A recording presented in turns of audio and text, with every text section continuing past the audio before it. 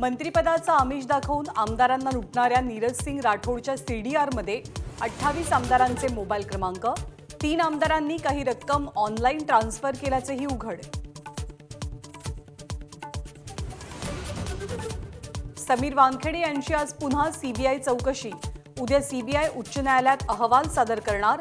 आर्यन खानच्या अटकेवेळी सीसीटीव्ही फुटेजमध्ये छेडछाड केल्याचा सीबीआयला संशय. पालिका निवडणुकीसाठी भाजपची रणनीती? आज दादरमध्ये भाजप मुंबई शहर कार्यकारिणीचं आयोजन. मुंबई पालिकेसाठी भाजपचं मिशन वन फिफ्टी.